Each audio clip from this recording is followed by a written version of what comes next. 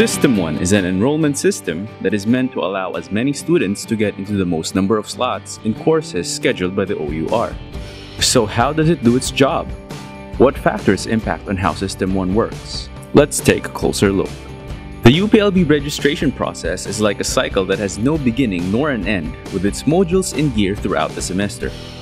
To know how it works, let us start at the middle of the semester when you need to submit your approved plan of coursework to the college secretary for encoding.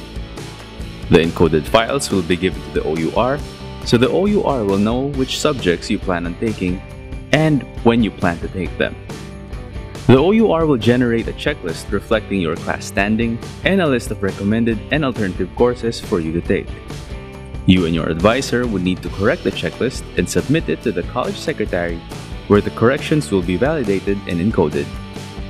Information consolidated from the checklist across courses will be the basis for the OUR to project the course demand. The course demand will be submitted to the departments and institutes to determine the number of sections that it will open, the schedules, and the room assignments. Using Regist, the OUR will give out the slots based on a prioritization scheme. Know more about this prioritization scheme in the next video. After this, System 1 then makes the slots available online.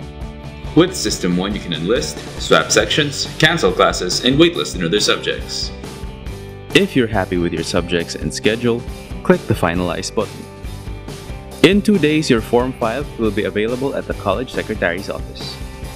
After claiming your Form 5, pay the assessed fees at the cashier's office or other payment centers. Then go back to the OUR to complete the registration process.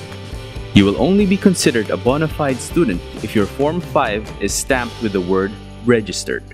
And that's it, you're finally enrolled. Make sure to click on these annotations to find out more about how System 1 works. If you have any questions, you can post them in the comment section below. See you!